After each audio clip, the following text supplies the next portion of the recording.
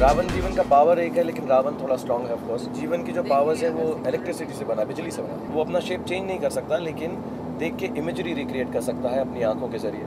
Project कर सकता है He can give huge 400 or 4040 volts power surges, Megatron uh, blasts. From his hand, he's got some electricity generating uh, gadget. His shoes can stick on surfaces. He can do everything that electromagnetic waves are capable of doing. He's got obviously a little bit of magnetic powers because he's made up of electricity. He can obviously blow far distances. He can jump a little in a parkour style. So there are different powers, different parts. He's got a utility belt, a backpack. So you can deconstruct it to show what all different aspects of his uh, physical being, so to say, are capable of doing in terms of superpowers. You know, it's very important that we give G.One a kind of an image which is beyond the actor. The whole purpose of, uh, you know, graphic representation being that.